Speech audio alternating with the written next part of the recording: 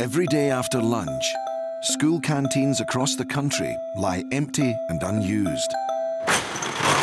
Until now.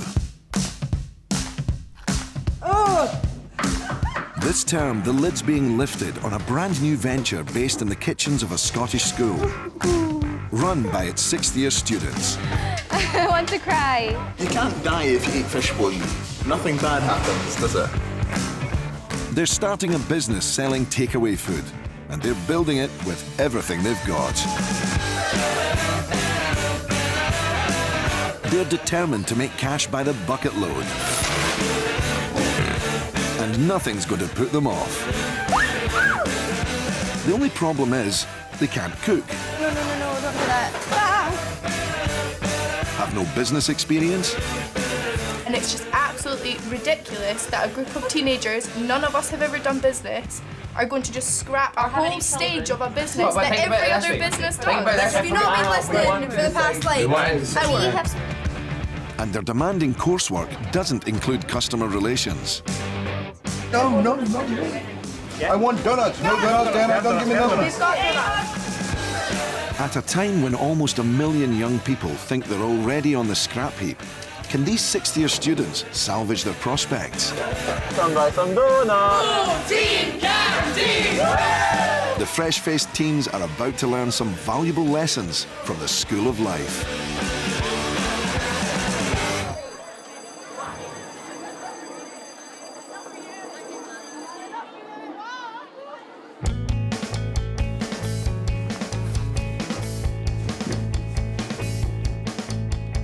Sixth years at Linlithgow Academy are about to be given the chance to demonstrate their creativity and leadership in the world of business. Chasing a dream, no, I never pick up the pen. In this, their final year of school, they are going to launch a takeaway catering company. It'll run for a week at the end of term, selling food they've cooked in their own school kitchens to the people of Linlithgow. One, two, three.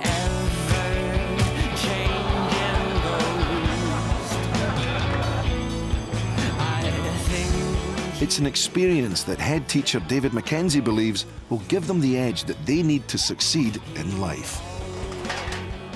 Out in the big bad world, in the world of employment, clearly the message we're getting from employers is that they want greater flexibility. They want people to be able to think for themselves, uh, to take decisions. And the opportunity that Teen Canteen gives us is to really focus on the types of skills that employers will be looking for.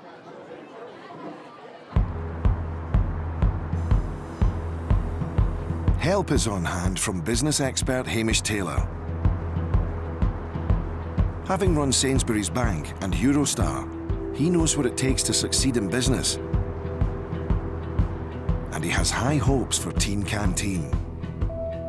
Success at the end of this for me is that I hope they have taken away some real lessons, whether or not they're going to go into business. You know, lessons about leadership, about communication, about logistics, about working with each other, all those sorts of lessons. I'd love them to go away and think, you know what, I got that out of my final year at school.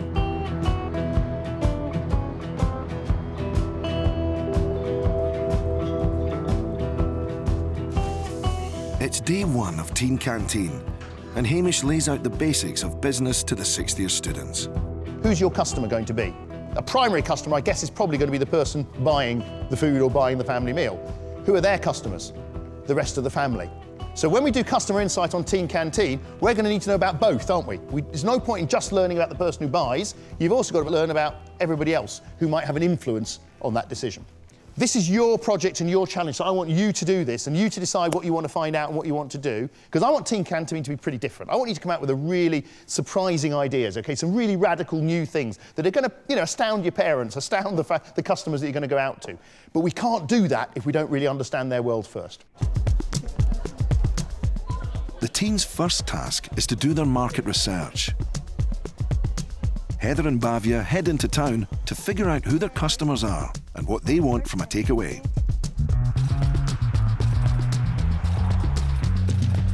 Linlithgow is a small historic town close to Edinburgh. Its busy main street has a handful of the usual takeaways. If the teens are to persuade customers to buy their food, they'll need to offer something a class apart. There's loads of pizza places and loads of Chinese, but Yeah, quite a few takeaways, but there's not much variety. like they, they're all good. They're just all the same. Like Yeah, yeah. Most of the takeaways sell the usual high fat, high salt fare, which is a big hit with the teens.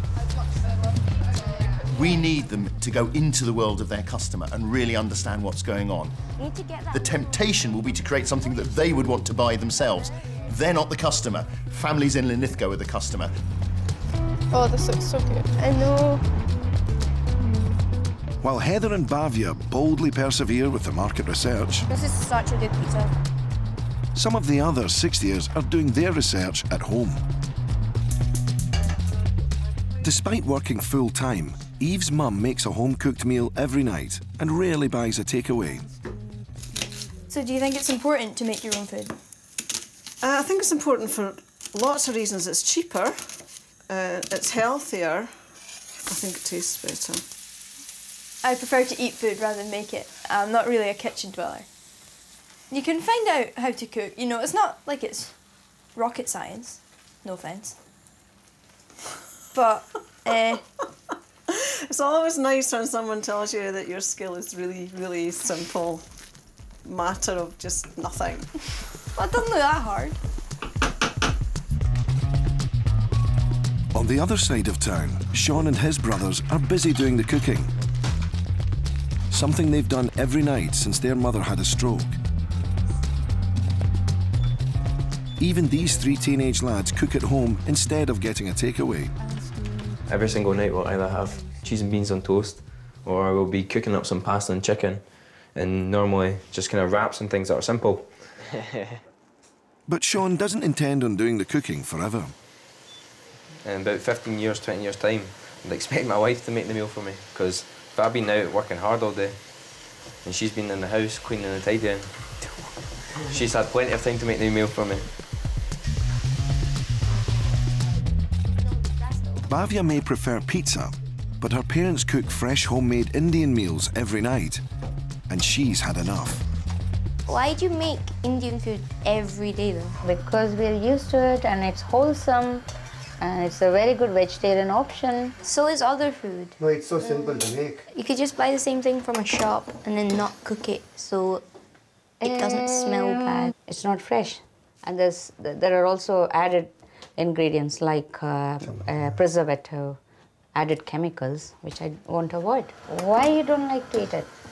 Because it's really spicy and it smells really bad when you I cook know it. you're more worried about your clothes getting smelly and your hair getting smelly Yeah. than the taste of it. Are you ready to eat now? So, are you ready to eat now? I'm really hungry. Help yourself to veg. So the real competition for Teen Canteen's takeaway food is the healthy home cooked meal.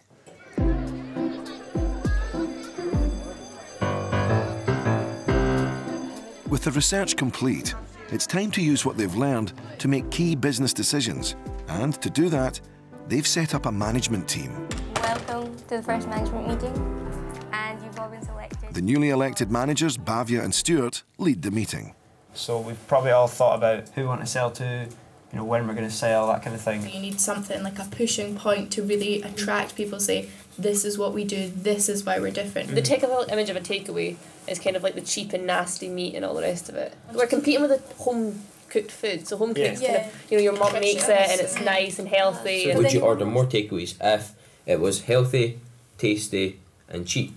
I think with this horse meat scandal, like we could actually, it's a really good Work selling on point it. for use that to our advantage. Totally, We can. totally. They I messed up, totally we agree. won't. where the horse meat was found was in frozen value products. Yeah. If you're going to pay next to nothing, Exactly. you're Take going to your get. minds, you're gonna if you're get going to pay forty p for six burgers, is it going to be pure beef? No, you'd be naive to think it's pure beef. If it's healthy, and if it's local, it's going to make it more expensive. But the people going to order it are people from Linlithgow. Yeah. And the people living in Linlithgow, like, putting it in a nice way, all have a lot of money. If your mum gets like a takeaway for dinner, um, she might feel guilty that it's not healthy enough for her kids. So if we had a kind of direction, so for example, what would make a guilt-free, you know, takeaway or something like that? A guilt-free takeaway. That's actually really good. Yeah. It's a good slogan. I think that if you came up with something that would be healthy and also really quick, I think people would really go for it. I, I Um, think the guilt-free this is brilliant. I mean, takeaway is a Guilt-free great customer takeaway. proposal. Yeah, I think so. We're gonna nail every other takeaway to the wall and we'll destroy them. To deliver a guilt-free night off for mum, the pupil's top priority will be learning how to cook. With only 10 weeks until the doors open, the food team have their first workshop in the home economics room. Food professional Fee Buchanan has run her own successful catering company. Moisten with olive oil, stopping a crust. Let me just She's agreed to help set up Teen Canteen. This is the first time we've got everybody who's expressed an interest in food all together in one place, and it gives me a chance just to see the different levels of experience. Most of the sixth years have never cooked a meal before. I'm not very good at cooking. I'm not very good at all, so like I make pasta and that's about it. I don't really know what I'm doing, but kneading it? Is that kneading it? I don't know. I- I'm not good at cooking, really. I don't think. Chloe can do that. She's a good cook. How do you hold your knife? Like, Like that? pencil. Like that? Yeah, that's one finger. It's like digging into my finger. With the basics covered, Fee teaches the teens how to prepare a simple takeaway snack. Mexican fajitas. It's a combination of spiced meat and fresh vegetables wrapped in a tortilla. So, are you going for spicy? I want to, but Amy doesn't really eat veg. It's like I don't like the taste of a lot of them. But like peas, I'll eat peas if I have to. Fee's beginning to realise the scale of the task ahead. It's going to be a mountain for them to climb to get to the point from where they are now to actually creating a product that they have to sell for cash. that is going to be an intense journey. It's an intense journey for a chef, let alone guys who don't eat vegetables and have never cooked before. Even so, the first meal the food team have ever cooked is going down surprisingly well. It's nice to know that we actually made this and that it was like edible. Yeah. Nobody's like puking or anything. Like people are actually enjoying it. When it's actually like members of the public and it's food we've made and they're enjoying it, it's going to be even more satisfying. Does it work?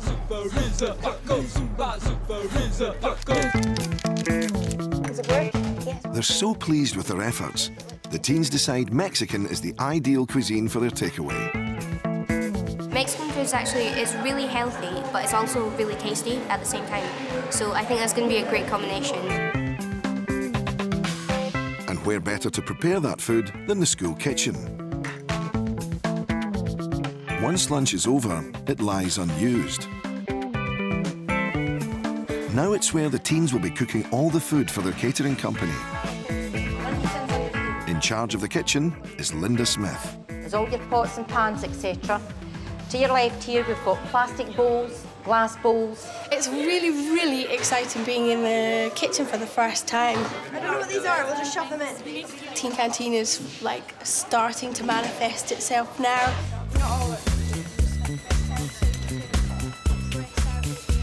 The plan is to create Mexican bite-sized tasters for an up-and-coming parents' night.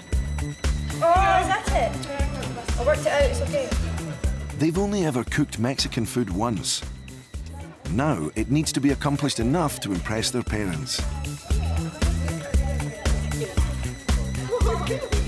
This is a huge ask for these guys, and they've had 15 quid to put together 150 pieces of food in a very, very short space of time.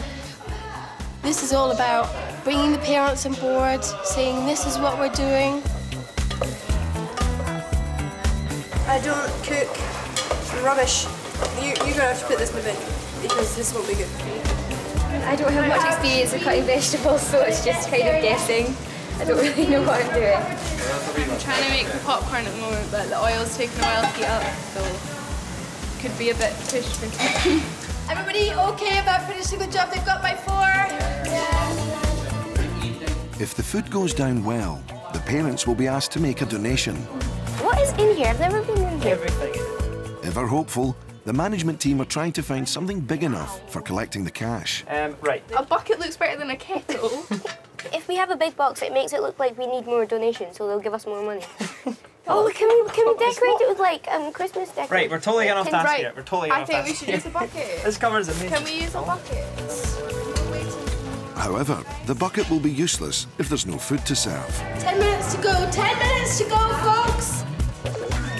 The pressure mounts when the parents' evening finishes 10 minutes earlier than expected. Stuart, everyone's coming out. There's people like there's parents outside. Is it finished? I don't know. Right, I'm gonna go check. They're finishing up. Right.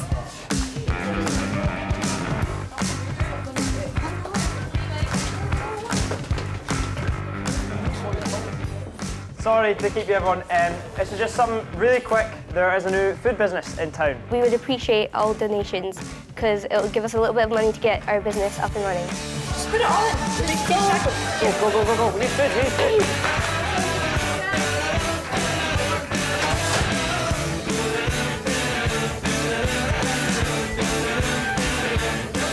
Who's ready for service? There's a little bit of beef in there, some cheese, some salsa as well. Thank you. What did you think of the food? I thought it was really good actually. Okay. Yeah, it was excellent. I liked it. We had the little flatbread things, filled ones Okay. from over there. They were really nice. Uh, and we had the Mexican popcorn, which was nice as well. You go into town, you see the usual takeaways, it's the same things again and again, so something like Mexican food would be great. It's really good feedback. It's really relative to what we've been discussing beforehand, so I think that's good. We can definitely feed that back into the management meeting. Everybody was finished half an hour faster than we thought they would be. So uh, where we were sort of just, you know, pushing forward at a steady pace, everything had to come really fast, really, really quickly. Uh, so well, I think we made it happen. The taster evening's been a big success. The hungry parents loved their Mexican food, which means the management team can count their spoils. So. So, because that's like £50 profit from that. But £62.30 doesn't amount to much in the real business world.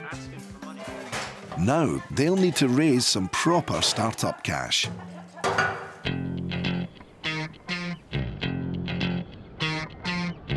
Business expert Hamish Taylor knows only too well that substantial investments are hard to find. This is not go out to your friends and neighbours and get them to sponsor you 50p to swim lengths of the swimming pool. This is much more serious than that in the sense that if you want to run a business, you're going to have to invest up front. And that means either you've got to get other people to contribute some funds or you're going to have to raise the money yourselves.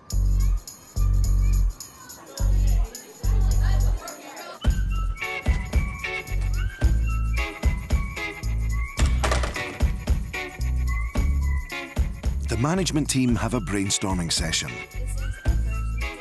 Basically, we need as much capital as we can get. So, any ideas any of you guys have, just write them down, even if it is really unexciting and it's a disco. Mm-hmm. It'll make us money. Obviously, it's probably going to be kind of the basics of it will be like a disco or a ceilidh, but I think we should probably try and look Try for and a do bit of a twist, like Oh, something more exciting, yeah. We need to find something that we can do that's different from everyone else Yeah. To maximise yeah. the profit.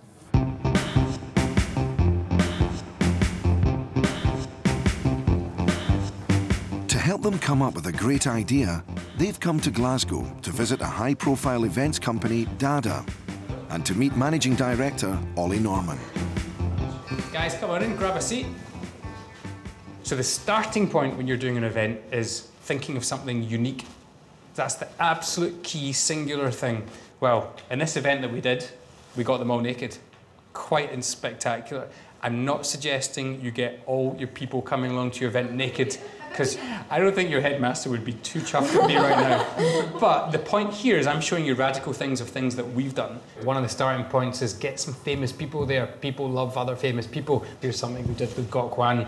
Women love him. They came in their droves of thousands and bought tickets from us. A lot of these people you might think are untouchable. They're not. So golden rule, ask. And what's one of the best ways you can get in touch with a celebrity these days?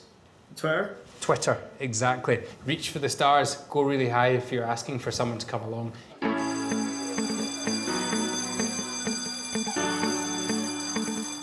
Inspired by the advice they've been given, the teams decide to organise a glamorous, star studded event. And they're selling tickets for the Big Bash to the school juniors. S1 girls, you interested in our disco Monday? You can buy one here if you've got three pounds. Any of you guys in S1 test three? It's gonna be a really good night. And bring your friends. Thank you. Bring along your friends. Yeah? It's the place to be on Monday night. It is. They're using every marketing trick in the book to sell tickets. Just go into like Reggie classes, then shout party on Monday or something, and then get out. Yeah, be like really excited. Really about it. enthusiastic, Yeah, yeah, yeah.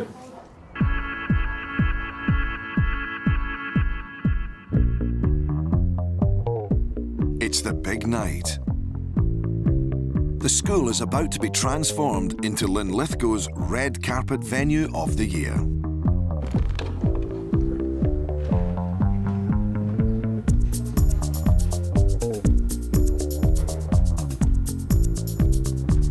But with only an hour to go until the guests arrive, the organisers have only just turned up. That out and then just adjust this. Let's go. There's still so much to do. Along with the ticket sales, they plan to sell sweets and treats. Fifty pence for yeah. No, we don't have many more bags actually. Have we got more? That's not great. To add to the Hollywood atmosphere, they've even hired a popping corn duck, which is bound to impress. Guys, popcorn machine broke again. Let's pretend we're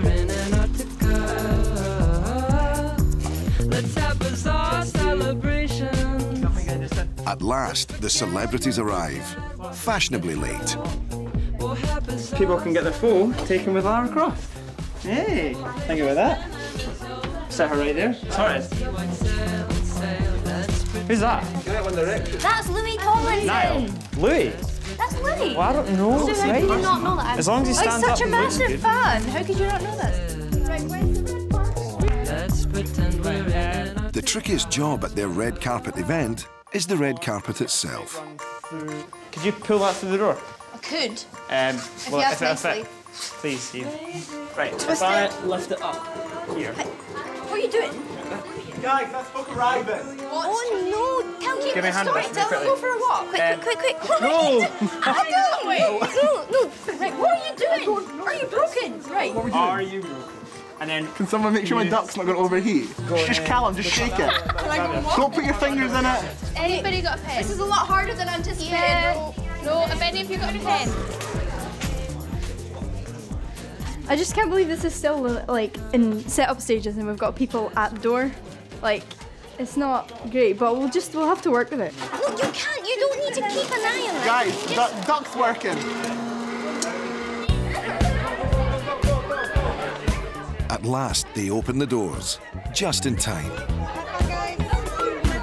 We literally got everything set up like two minutes before people started arriving, and it's really stressful, and everyone's just running about.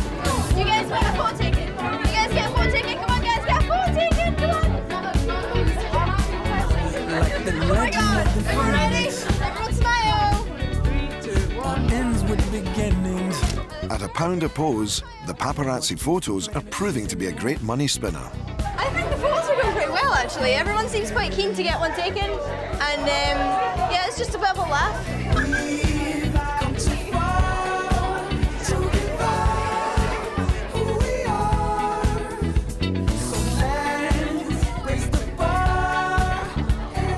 Even the takings on the door are exceeding expectations. So it's, it's looking good. We're pleased. They may be raking in the cash, but the overpriced confectionery isn't popular with all the customers. I only have five p. Well, you're not getting anything then, are you? One 150 or 150. You're not a satisfied customer. Got a policy. You need to email someone who'll phone us, but then email your parents who'll phone you to make sure it's okay, and then you'll get a refund. Is the duck still broken? Yes. Alright, what do you want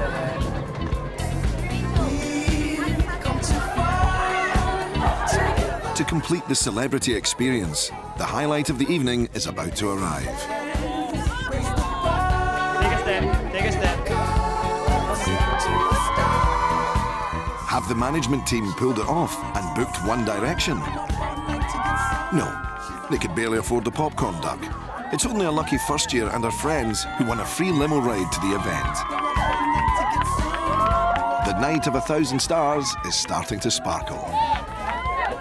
Oh, it was, it was amazing. I'm, I'm, I'm quite buzzing from that. Um, no, it was just brilliant to see. I mean, everyone was obviously quite excited by it. I think we've got a really good buzz going in the kids. You can see, I mean, there's absolutely tons of them now, actually. Um, it's going to be chaos back in there, but it was amazing. Let's go crazy, crazy, crazy till we see the sun. The money they've raised from the disco takes them closer to opening their takeaway business.